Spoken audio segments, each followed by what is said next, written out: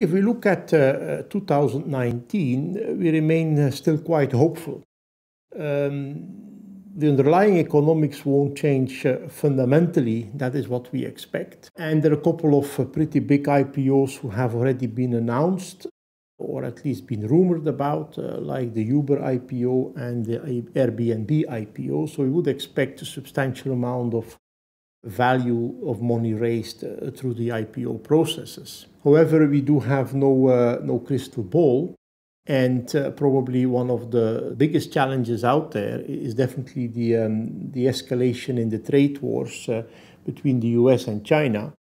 And while it is possible, probably over the next couple of months, uh, to negotiate a kind of interim deal, it's unlikely that the, the, the tension or the, the rivalry between the US and China will go away in the next uh, few years and, and, even maybe not in the next uh, decade. So, from that perspective, we would expect uh, quite some volatility in the markets and a dampening of the economy overall, probably by the end of uh, 2019.